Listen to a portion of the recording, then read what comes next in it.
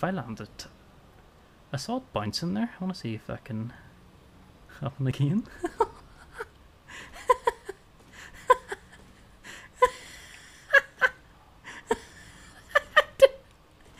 don't know what this is funny.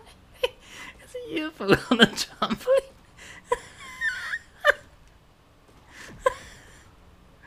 oh my god.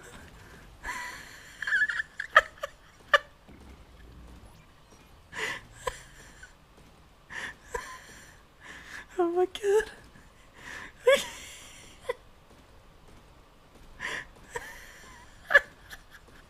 That's right.